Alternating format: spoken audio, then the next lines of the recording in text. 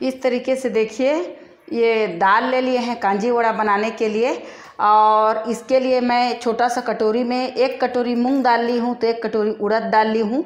आप यदि चाहे तो पूरा मूंग दाल से ही बना सकते हैं और इसको छः सात घंटा के लिए पूरी तरीके से भिगा दिए थे। बहुत ज़्यादा दिख रहा है, ये फूल गया है बढ़िया से और बढ़िया से धो के इसका पानी को मैं निकाल ली हूँ और सबसे पहले इसको अब पीस लेते हैं मिक्सी में। तो एकदम बारीक फाइन नहीं पीसना है, हल्का से दरदरा पीसना है और बिना पानी डाले पीसना है। जैसे देखिए, दाल को पीस के ले आए हैं।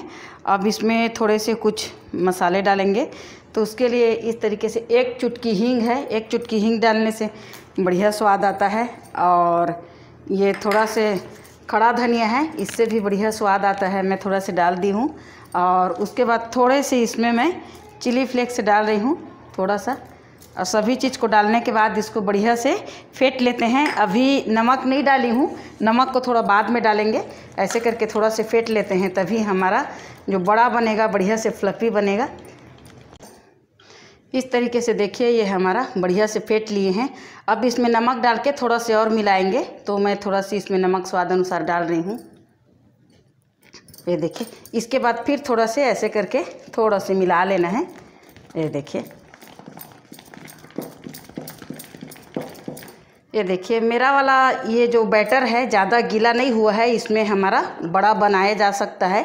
लेकिन यदि आपका बैटर ज़्यादा गीला हो जाता है तो आप थोड़े से इसमें गेहूँ का, दो तीन चम्मच गेहूँ का आटा डाल सकते हैं। ये देखिए हमारा तैयार हो गया। चलिए इसका बड़ा बना लेते हैं। बनाते हैं। बड़ा बनाने के लिए ऐसे करके सबसे पहले हाथ में पानी लगा लेना है और ऐसे करके जितना बड़ा आप बना, बनाना चाहते हैं, ऐसे करके गोल गोल कर लेना है। और इस हाथ से भी मैं पानी ऐसे करके लगा लेती हूँ और ऐसे करके देखिए, हाथ से ही मैं ऐसे करके बड़ा बना के तैयार कर लेती हूँ। और इसको अब चलिए तेल में डाल लेते हैं। ये देखिए, बड़ा बनाने के लिए तेल हमारा गर्म हो गया है। तो जो हाथ में बड़ा बना के रखे थे, उसको ऐसे हाथ में ले लेना है, देखिए, और ऐसे करके तेल में छोड़ देना है। और तेल को मीडियम गरम करना है, एकदम हाई भी नहीं रहना चाहिए और एकदम लो भी नहीं रहना चाहिए। इसी तरीके से मैं बाकी और बड़ा को बना लेती हूँ।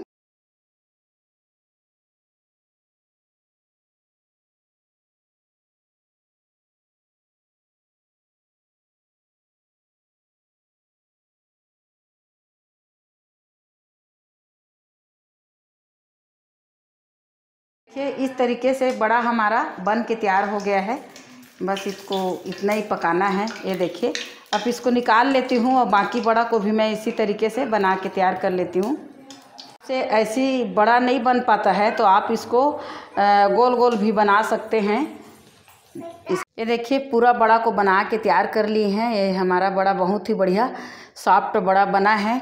अब इसको क्या करना है इस तरीके से देखिए, मैं साफ़ पानी ली हूँ, कम से कम ये एक डेढ़ लीटर ले लिए हैं और इसमें बड़ा को डुबा देना है। बड़ा को डुबा के इसमें कम से कम आधा घंटा तक से रख देते हैं तो इसमें जो तेल रहता है वो भी निकल जाएगा और बढ़िया सॉफ्ट बन जाएगा। उसके बाद फिर हम इसमें कांजी में डाल के इसको सर्व करेंगे।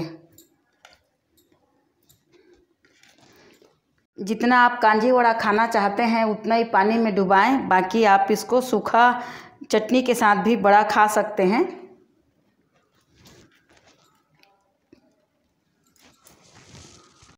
इस तरीके से मैं ये बड़ा को डुबा दी हूँ और इसको ढक के आधा घंटा इसी में रहने देते हैं। ऐसे करके बीच बीच में ऐसे करके थोड़ा कर देंगे, ऊपर उठ जा रहा है इसलिए। ऐसे करके देखिए ये देखिए, इसको आधा घंटा पानी में इसी तरीके से भिगा के रख दिए थे और ये अच्छी तरीके से देखिए, फूल गया है। अब इसमें से पानी को ऐसे करके निकाल देना है, ऐसे करके। ये देखिए, पानी निकल रहा है। तो इसी तरीके से इसका पानी को सबसे पहले निचोड़ देते हैं। ये देखिए, तभी तो इसमें कांजी को, में इसको डालेंगे तो कांजी वाला पानी ये पिएगा। ये देखिए।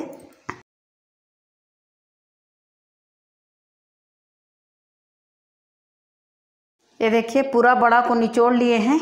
अब इसको साइड में कर देते हैं। इसके बाद फिर ये हमारा कांजी बना के तैयार किए थे। तो ये हल्का से इस तरीके से फार्मेट हो चुका है। लेकिन इसमें अभी हम बड़ा डाल के रखेंगे तो और बढ़िया से फार्मेट हो जाएगा। ये देखिए तो इसको मैं एक बर्तन में डाल लेती हूँ। इस तरीके से मैं एक बर्तन में डाल दी हूँ। इसके बाद फिर इसमें बड़ा को डाल देते हैं। इस तरीके से ये देखिए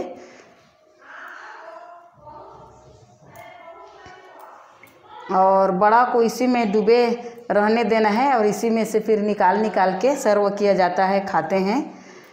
और इसको दूसरे दिन खाने से और ही बढ़िया स्वादिष्ट लगता है ये।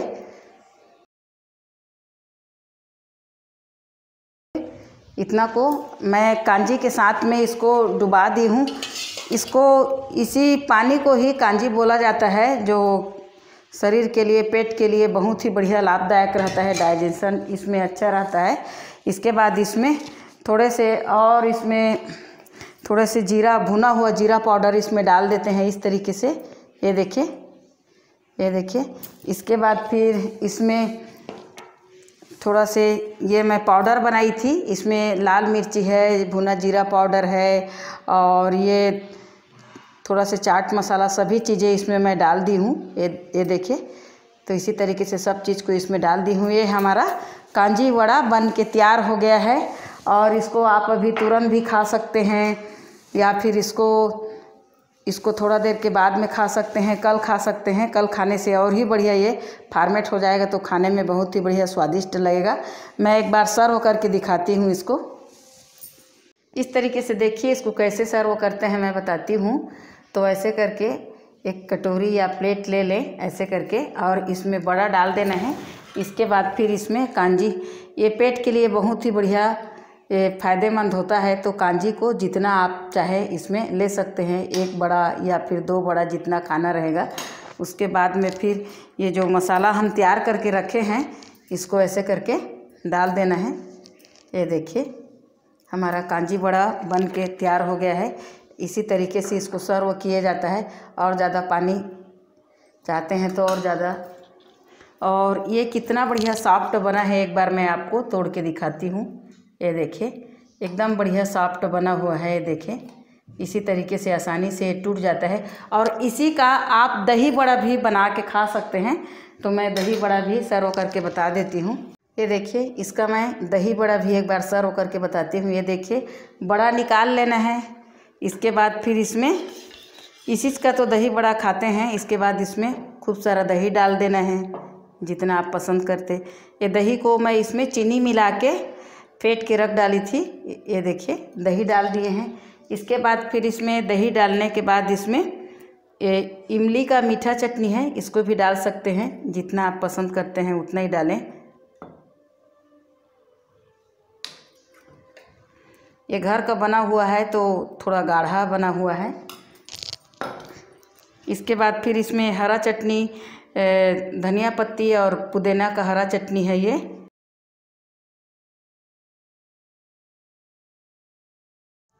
इसके बाद फिर इसमें भुना जीरा पाउडर है, लाल मिर्ची पाउडर है, सभी चीज़ को मैं इसमें मिला के पाउडर बनाई हूँ। इसको भी डाल देती हूँ। इसके बाद फिर ऊपर से और इसमें थोड़ा से भुना हुआ जीरा पाउडर डाल देते हैं, जो खाने में बहुत ही बढ़िया स्वादिष्ट लगता है। और इसमें बारीक सेव रहता है, उसको भी इसमें थोड़ा से डाल देते हैं तो बहुत बढ़िया लगता है दही बड़ा में। ये देखिए ये देखिए। इसके बाद फिर और ऊपर से इसको सजाने के लिए थोड़ा से और दही डालते हैं इसमें। इसके बाद फिर थोड़े से इसमें ए, अनार के दाना भी डाल देते हैं जो खाने में बहुत ही बढ़िया स्वादिष्ट लगता है और दिखने में भी बढ़िया स्वादिष्ट लगता है। तो ये देखिए हमारा दही बड़ा और कांजी बड़ा दोनों बन के तैयार हो गया है। तो आप लोग भी घर में इस होली इस तरीके से दही बड़ा बनाइए, कांजी बड़ा बनाइए, कांजी बड़ा बनाएँगे तो उसमें आप दही बड़ा का भी स्वाद ले सकते हैं। और बहुत ही बढ़िया टेस्टी लगता है, घर में सब चीज़ शुद्ध बनता है। तो आप लोग भी बना के ज़रूर खाएँ, पसंद आए तो लाइक करें, शेयर करें, सब्सक्राइब करना बिल्कुल ना भूलें। धन्यवाद।